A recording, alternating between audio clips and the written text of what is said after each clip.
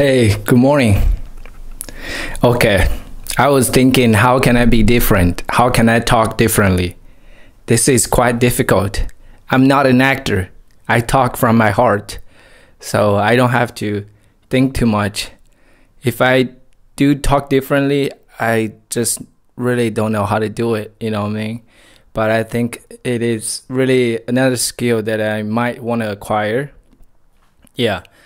I just often think of this if I want to really make an effective speech, I probably need like some humor and some acting and some just performance, you know what I mean? So I can grasp people's attention and make them interested in my talk.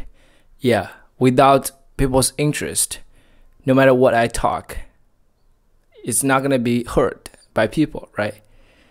But I guess that's something I need to figure out gradually, right?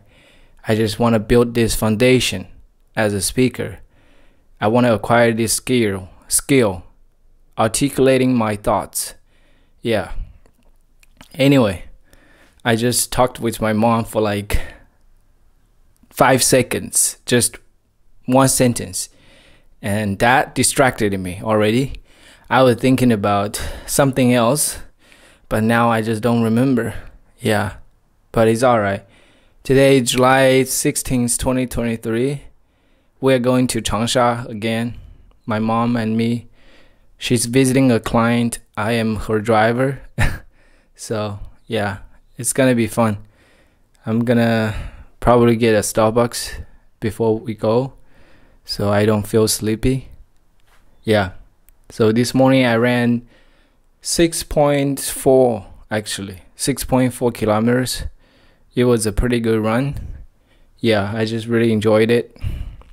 Pushing myself mentally. It's all about mental. It's all about mindset. Yeah. All right. So, I'll see you guys later. Bye.